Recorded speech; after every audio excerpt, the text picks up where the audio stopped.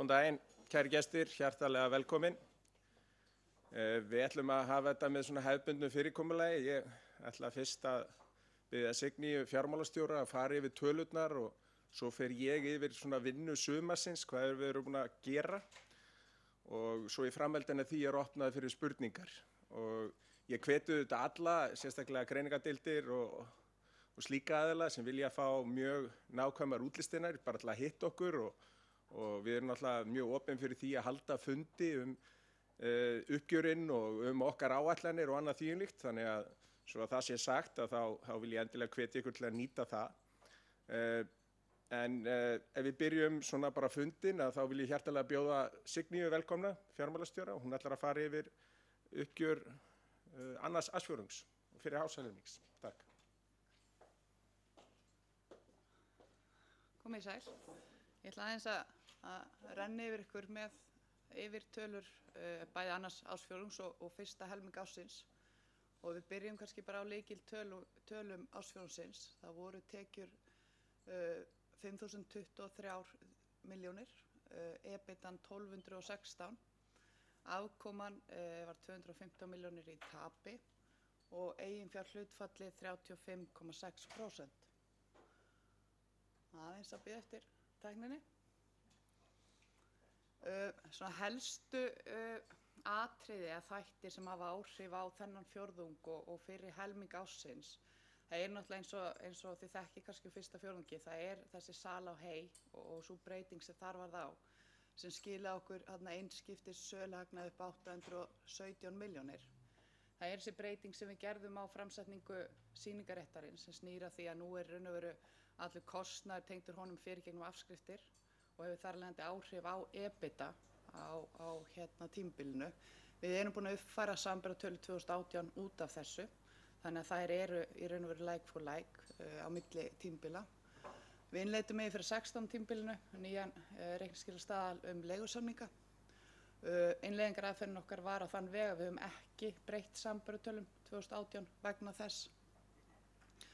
Gengi hefur leikið okkur svolítið grátt á tímbilinu en óhagstæð þróun gengis á fyrir helming ás 2018 á móti saman tímbili fyrra er í kringum 70 miljónir og á, á áhrif kjærasamningar er raun og veru óbreytt frá okkar mati uh, í fyrsta fjórðungi eða eru metin í kringum 115 miljónir yfir árið. Ef við horfum á reksturinn fyrir annan fjórðungin þá voru tekjunum síðan saðan 5.023 miljónir og lækkuðum 134 miljónir á milli tímbila. Uh, kostnaðaverðið var 3.290 miljónir og hækkaði um 132 miljónir. Þetta er stórun hluta til út af gengistón, rosalega stór kostnaður hjá okkur er í ellendu gjaldmiðlum út af síningaréttunum og þetta er að hafa talsverð mikil áhrif á okkur. Þótt þetta velti hratt í gegn, það er samt innkaupin er að herra verð og þar leðandi kostnaður sem fyrir gegn talsverð herri. Rekstrakostnaður er 1769 miljónir á móti 1810 á fyrra tímbili og lækkar um 41 miljón og þetta gefur okkur EBITDA upp á 1216 miljónir á móti 1270 sama tímbili fyrra sem lækkunum 54 miljónir. Þessi niðurstaða skilar þessi tapi upp á 215 miljónir á móti 9 miljón krónan tapi uh, á sama tímbili fyrra og sem er þá í raun og veru aukning á tapi upp á 206 miljónir. Framleiða hlutfallið er 34,5% á þessum fjórðungi á móti 38,8% og helst ástæða þessar breytingar er, eins og ég sagði áfan, þessi gengis þróun sem hefur verið og þar er leiðandi aukning í kostnaði. Ef við skoðum tekistraumana þá er uh, fjölmiðlun með uh, 2170 miljónir og lækkar um 59 miljónir á milli fjórðungana. Interneti fyrir 1208, uh, fer úr 13 draunir í 1208. Við erum að sjá uh, 2% lækkun á farsímanum á milli tímbila. Fastlínan í raun og veru heldur áfram að lækka, við erum þó búin að stemma aðeins stigu frá lækkunni í fyrsta fjórðungnum sem er jákvætt en, en við teljum þó að þetta verði nokkuð áframhaldandi þróun út árið sem er bara í takti breytingar í þjóðfélaginu. Uh, Vörusalan stendur í stað á milli tímbila og aðra tekjur aukast um 67% frá sama tímbila ári áður. Sjóðstreymið, ef við horfum á það, þá var handbært fyrir rekstri 1290 miljónir og jógst um 312 milljónir þarna milli tímbila. Uh, fjárfestingarhefingarnar eru 799 milljónir og þetta eru að gott að hafa því huga, þetta eru fjárfestingar bæði í varlegur ekstra fjármunum og síningaréttunum öðrum ómslum eignum. Uh, Fjármögnarhefingar 184 miljónir sem fór út vegna þeirra á móti 576 sem kom inn í fyrra þar sem var í raun og veru endur skipilagning á skuldum á þeim, því tímbili.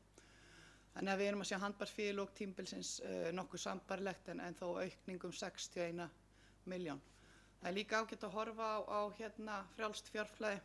Uh, það er 645 á þessum öðrum ársfjörðingi núna móti uh, neikvæðu um 327 þannig að það er aukning upp á 972 og helst er það ástæðan fyrir því eins og þið sjáu þannig að fjárfestingarhefingarnar uh, hafa lækkað talsvert uh, á milli tímbila sem er svolítið endur speiklar í raun og veru. Þær voru þungar ári áður en við erum í raun og veru að svolítið að, að minka er núna og, og, og, og stemma stigu við allir þessar fjárfestingar en það var náttúrulega veruleg fjárfesting í fyrra út af samrununum og þeim breytingu sem var gert í því samhengi.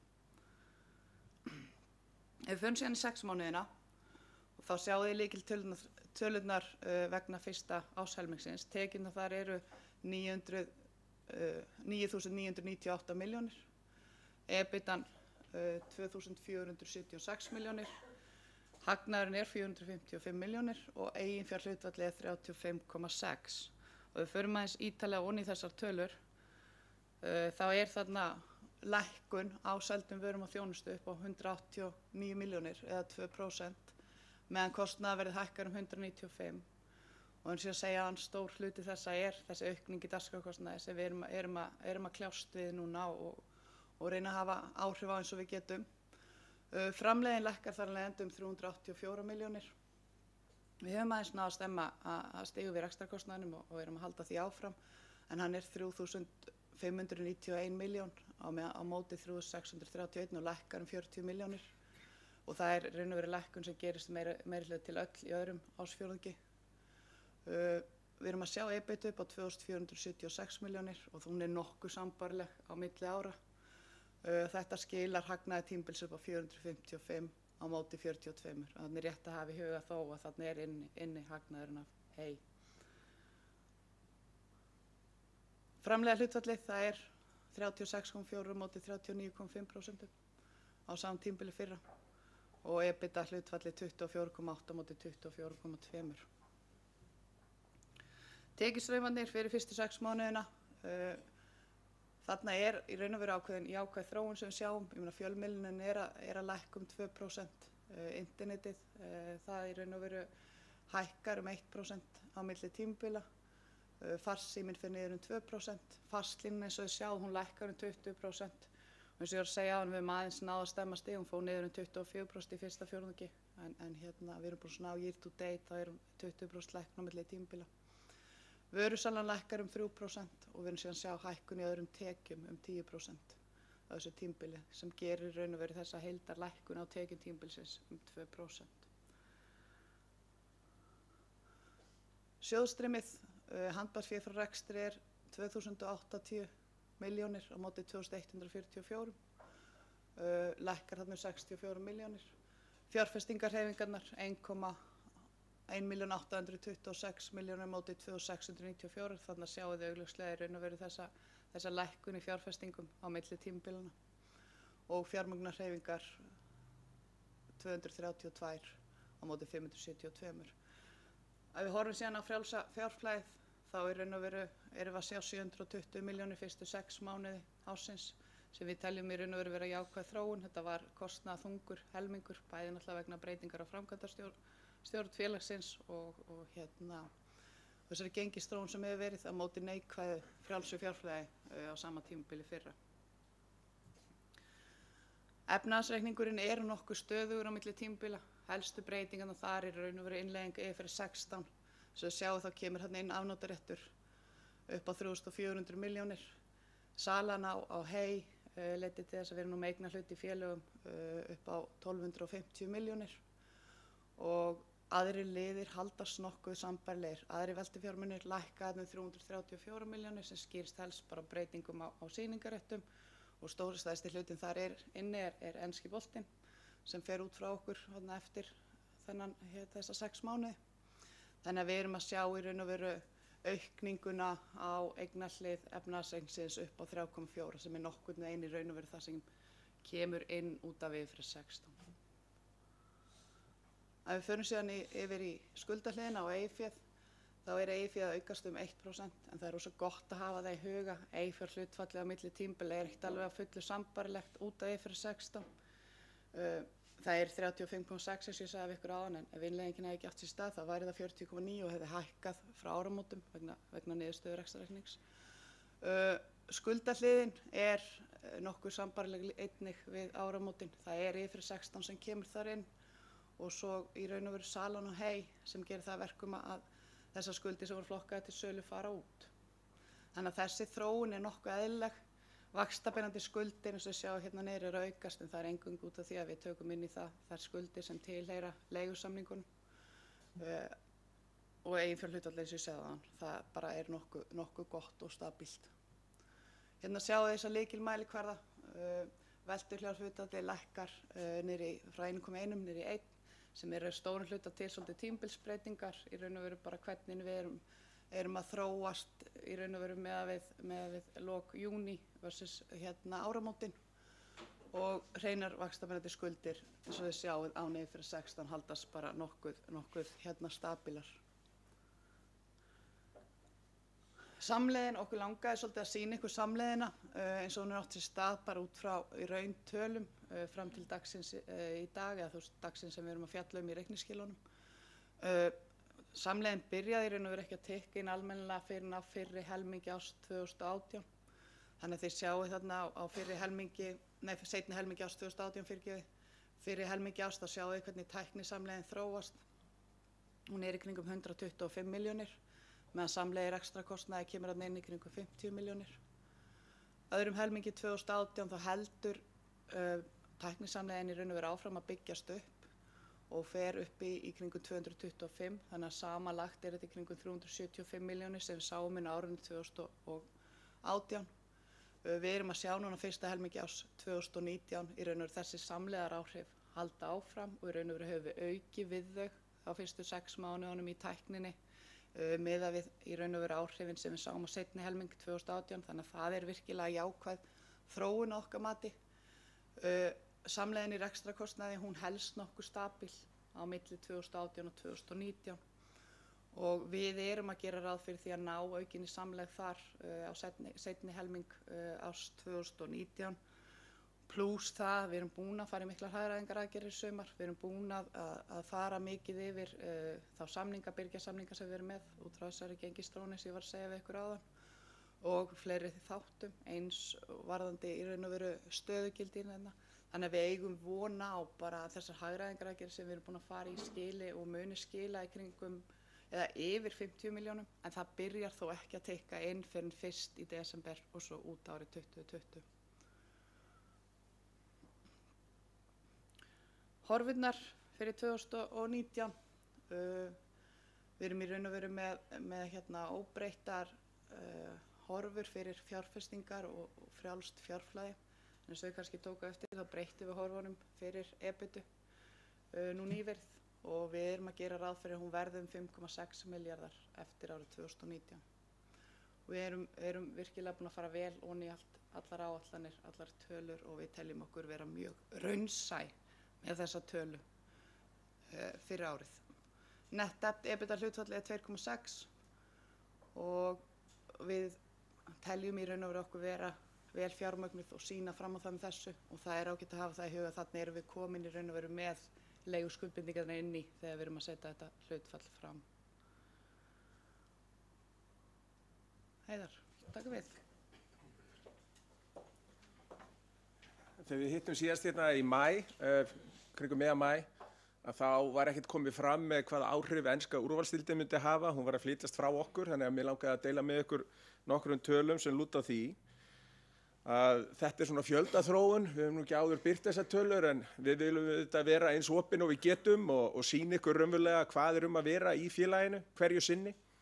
Og þið sjáu á þessum tölum að það er ekki mikil breyting í sumar, þannig að það er ekki eins og viðskiptavinnir séu að hlaupa í burtu eða hlaupa til annars aðila. Uh, ég get líka sínt ykkur til fróðlegs að fjölda þróun í sportinu hjá okkur. Við erum með hérna þúsund fleiri áskrifundur núna bara í þessari viku, heldur en var í þessari viku í fyrra. Uh, á móti kemur að við höfum auðvitað lækka verðið og það er ekkert launingamál að þegar útbóðið var á ennsku úrvastildinni að við vildum ekki bjóða hátt verð og aðri vildu og, og við höfum ekki vilja fá þessa efnisrétti á þessu verði sem var síðan greitt fyrir það. Þannig að við losuðum auðvitað um rekstra kostnaði í kringum þetta og gáttu þar að leiðandi lækka verðið sem strax vegna þess að það er mikil verðteigni á þessu markaði sem þá kom fram í því að það fjölgaði áskrifundum. Þannig að eftir sumarið að, að þá þegar við horfum yfir svona okkar rekstur að þá er engin meira átt að breyting svona í þessum grunn rekstri. En það sem við hins vegar höfum verið að gera í sumar það er að fara í miklar aðgerðir og frá því að við hittum síðast og ég var þá bara búin að vera held í viku eða tvær uh, við stjórnvölinn að þá erum við búin að gera ansi margt tel ég og það hefur tekist mjög vel. Við fengum allt fyrirtæki með okkur í stefnumótun. Uh, hún var unnin alveg frá grassrótinni og upp, við vorum ekki mjög utan að koma til ráðgjafa, við fengum bara fyrirtæki sjálf til að gera þetta út frá ákveðinni forskrift sem áður hefur verið unni með. Og uh, upp úr því kom rosalega einróma skoðun um hvert skildi stefna. Og ég ætla að sína ykkur það á eftir. Uh, í framhaldin af því var farið hún í grunninn með út frá þessari stefnumótun á hvaða vörumerkjum við ættum að vinna og hvernig við ættum að, að tala fyrir hvert vörumerki og það er búið að afgreða það. Í framhaldinu af því þá var skipurreitinu breytt. Við færum til að mynda auðlýsingasölu af miðlum og yfir á fyrirtækjasvið. Við tókum öll sölusviðin saman, settu þau undir forstjóra, byggum til nýtt samskiptasvið. Við fækkuðum deildum, við saminuðum deildur, deildir og út úr því kemur náttúrulega ákveðin hagræðing og ég mun fara betur honi það á eftir. Og svo í framhaldinu af því að þá hefur verið svona heilt yfir farið að ég að skoða bara grunnreksturinn hérna og, og það hefur mikil vinna fara í það í sumar þannig að ég tel að sumarið hafi verið mjög vel nýtt. Hér fer ég inn á stefnumótununa.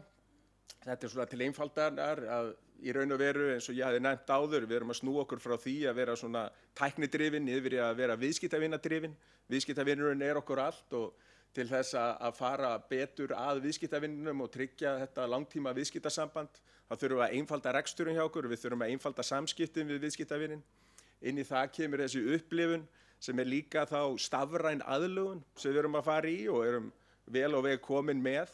Það einfaldar mjög öll samskipti og, og bætir og svo er það í raun og veru að veluna tryggð viðskiptavinna. Það er búið að vera mikið róta á þessu markaði, búið að vera mikið af yngöngu tilbúðum og annað. Við viljum miklu frekar gefa þeim afslátt sem hafa verið lengi viðskiptum heldur en öðrum sem hlaupa á milli tilbúða. Þannig að upp úr þessu kemur síðan þessi vörumerki og samskiptastefna og aðalgrunnurinn í því er að sín er ekki eitthvað sem við seljum, sín er bara nafn á hérna, hlutafélagi sem er skráð í kaupöllinni.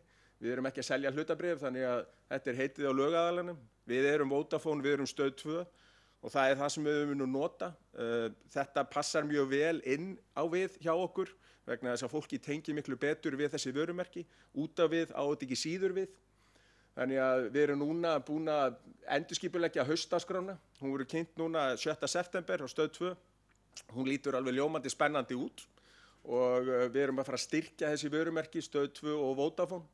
Við gleymum auðvitað ekki öðrum vörumerkjum sem við erum með eins og vísi og útástöðunum en þær er ekki beint með auðlýsingatekjur. Þannig að það er öðruvísi nálgun sem við tökum þar. Skipiritið eins og ég nefndi, það er búið að breytast og uh, þetta er í framhaldinu af þessari vinnu þannig að í raun og veru ber ég núna ábyrð á allri framlínunni, öll salan heyrir undir mig og við tókum mannöðsviði sem áður hafi verið undir fjármálasviði, færða beint undir fórstjóra, þannig finnst mér hlutinir eigi að vera. En samskiptasviði sem er raun og veru markaðsvið og fleiri einingar sem fara þar inn, fjárfestatengsl og innri markaðsetning og, og fræðslustarf og annað þýjumlíkt, að það verður allt á einu sviði og uh, aðrir önnur svið, það er náttúrulega búið að vera mikla breytingar, undir síðan hverju sviði hérna eru forstöðumenn og mesta breytingin var auðvitað gerða á miðlunum. Og við erum búin að núna tengja betur sviðin saman, stóðsviðin og tekjusviðin, þannig að við höldum að alla bóðleiðir hafi verið stittar, þetta hafi verið einfaldað og með því fæst hagraðing og, og endanum miklu betri upplifum fyrir viðskiptavinning. Eins og Signý kom inn á hérna áðan að þá er raun og veru búið að vera mikla breytingar á stöðugildum Stöðugildum frá því að við hittum síðast í mæ hefur fækkað um hátt í 10% í fyrirtækinu. Við erum búin að fækka millistjórnendum ótrúlega mikið í raun og veru. Það er að minnskosti eitt millistjórnandi farin fyrir hverja tvo almenna starfsmenn á þessum tíma. Við höfum farið í endursamninga. Þessir breytingar sem eru hérna, þessar fyrstu fjóra breytingar, að það eru auðvitað að koma fram með tíð og tíma vegna þess að það eru náttúrulega samningar sem renna sitt skeið og svo eftir þrjá mánuði, fjóra mánuði, fimm mánuði að þá kemur þetta fullinn í reksturinn. Og við erum búin að í raun og veru til ég lækka kostnaðarstig fyrirtækisins varanlega um meira en 600 miljónur ári pluss og við ætlum auðvitað að gefa í þar. Og þetta er eitthvað sem við sjáum tækifæri í.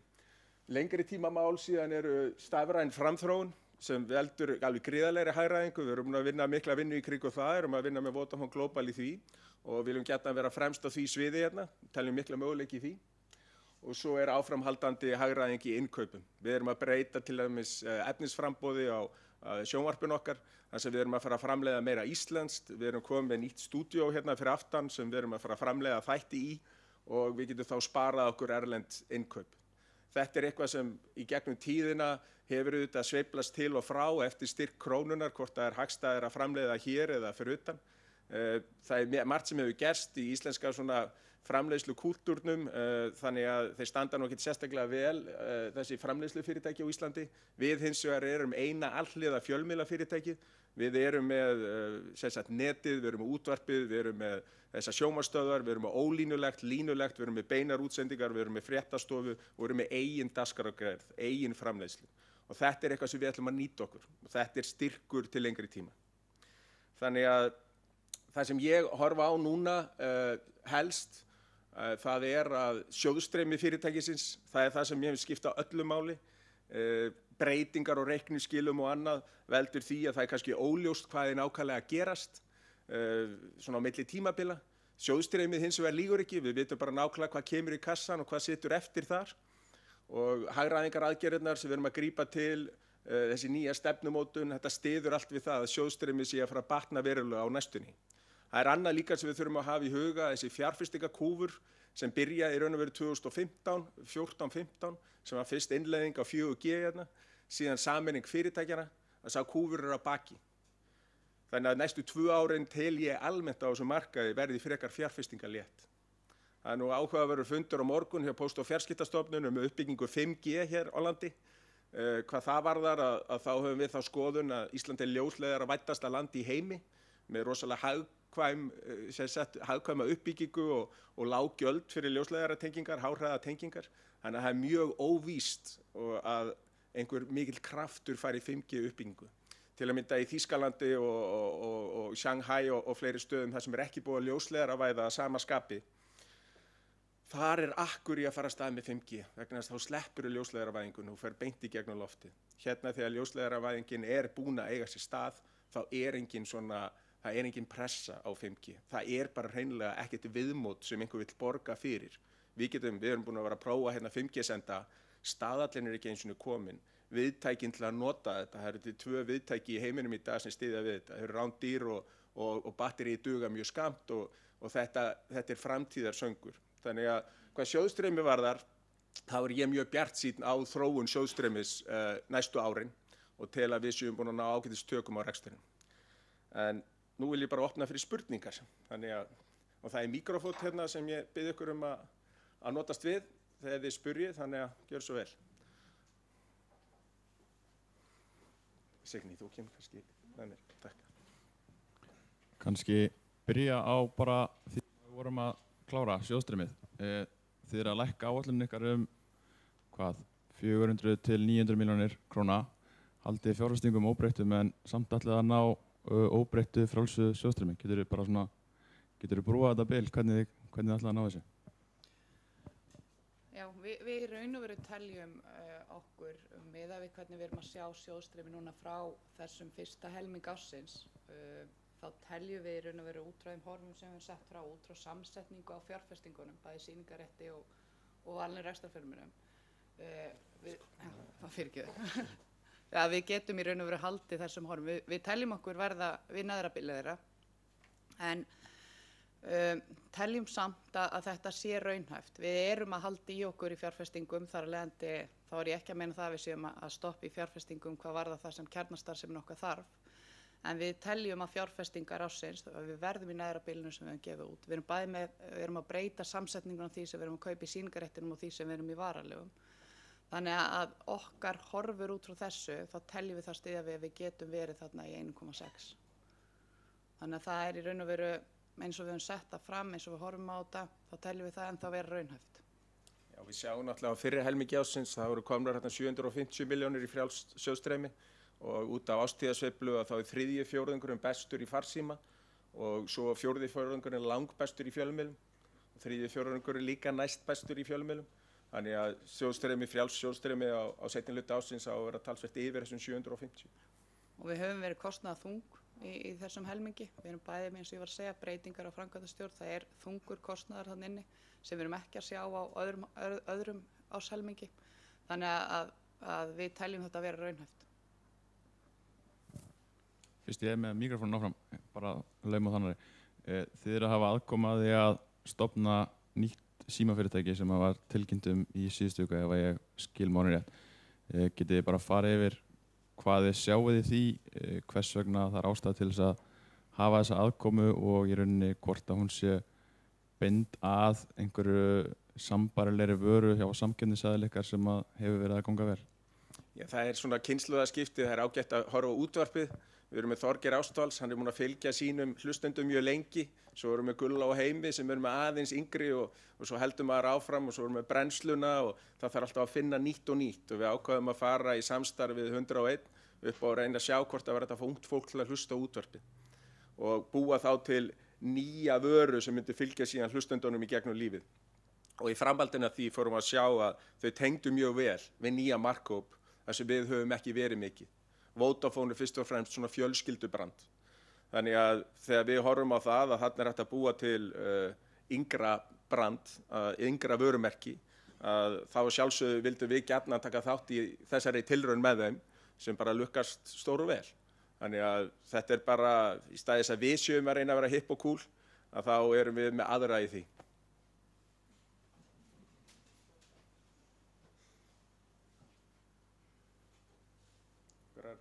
Einhverjar fleiri spurningar?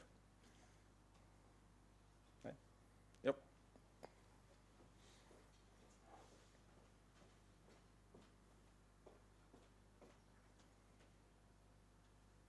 þess varandi uh, áætlun ársins uppfærða sem nefnir að sé raunsæ eins og þið se- segið getið þið komið hans inn á svona áætlanir ykkar og kannski á þessum hérna í fjölmjölinni og samkenni með stöð 2 nýta skrá er einhverjar verbreytingar framöndan Já, við erum að breyta verðum og við erum auðvitað líka bara að takast á við þróun sem er morgun ljós að það er að minka línulegt áhorf og, og, og svona hám áhorf uh, er raun og vera að aukast, ólínulegt og við erum að snúa smá saman við áherslunum í þeirri starfsemi. Og þess vegna erum við með breytingar á tekniborðinu núna sem verður vantarlega farið í bara strax í vetur um að, að, að vinna á þessu. En okkar áætlanir auðvitað uh, hafa hinga til staðist engan veginn og við erum búin að fara í gegnum allt það spáferli. Við erum búin að vinna hlutin upp á nýtt og, og með nýjum fjármálastjóra og nýri frangandastjórn höfum við uh, breytt algjörlega vinnulagi. Þannig að ég tel að núna með því að horfa bara hreint og beint á sjóðstreymið, vegna að sjóðstreymið lígur aldrei, að þá erum við komið með sjóðstreymi sprá sem er held ég mjög áræðanleg og síðan út frá því að, að og við erum auðvitað með okkar grunnspár og annað í rekstrinum. Þannig að ég tel að, að þessi áallinu ársins sé hófleg. Auðvitað ætlum við að reyna að gera betur og, og á næsta ári miklu betur. Þannig að þetta er svona það eina sem ég get sagt akkurat núna. Þess hluti á áætlunni er að gera ráð fyrir verðlækkun á Verðbreytingum, já. Já. Algjörlega.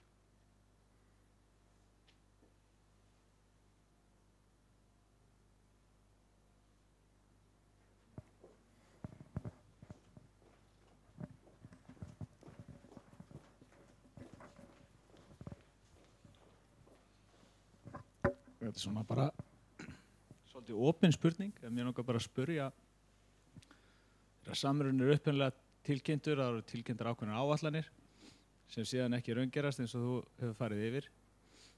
Mér langar bara að spyrja svona, getur þú ríflekta eins fyrir mig hvað skeiði, eða hvað var til þess að þessar áallanir gengi ekki upp? Og ég sem hef heyrt hvað þið er að gera á móti því sko, en mér langar bara svona að gefa það tækjafæri til þess að útskýra það eins betur. Já, ég, við getum líka bara átt fund og farið bara í gegnum að hvern einustu, hverja einustu tekjulínu en, en það sem er undirliggjandi það er að farsímabransin hefur gefið gríðarlega eftir. Og ef við skoðum bara eins og ég nefndi á síðasta fundi undir vísitölu neysluverð sem snýra fjarskiptum og nú er lækka frá 2015 um 79% og verðsankeppni, ingungu tilbóð, annað þýjumlíkt hefur verið ævintýralega aggressíft á markaði og við sjáum núna að markaðurinn aðeins að jafna sig. Uh, Ingöngu tilbúðum hefur á stóru leitið verið hætt, uh, fólk gæti verið með í raun og veru ókipis fjarskipti í alltaf þrjá mánuði og síðan farið á milli aðila og þannig tryggt sér ókipis fjarskipti allt árið, fjarskipti sem annars hefur kosta 18-20 þúsund á heimili.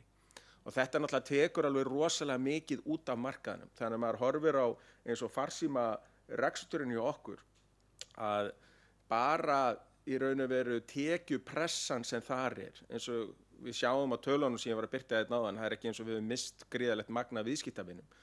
En bara tekjupressan sem hefur verið þar hefur verið svakal þannig að það má alveg halda því fram að það séu miljardur af ebitu sem hafi farið út úr fjarskiptabransanum hjá okkur. Á sama tíma ætluðu þetta að fá 1,7 miljard út úr samrunanum inn í okkar rekstur. Það var ebita spáin sem við vorum að vinna með. Þannig að ef það munar hérna miljardi þá ætti þetta að vera svona 700. Eh, Þegar síðan eh, þessi samkeppni er, þessi samruna á sér stað, að þá er stjórnin ekki með sama hætti hún væri í venjulegu árferði hérna. Þannig að kostnaraðhald, annað þýjunlíkt, áallana gerð og annað fer svolítið úr böndun. Þannig í stuttumáli það er skýringin ás.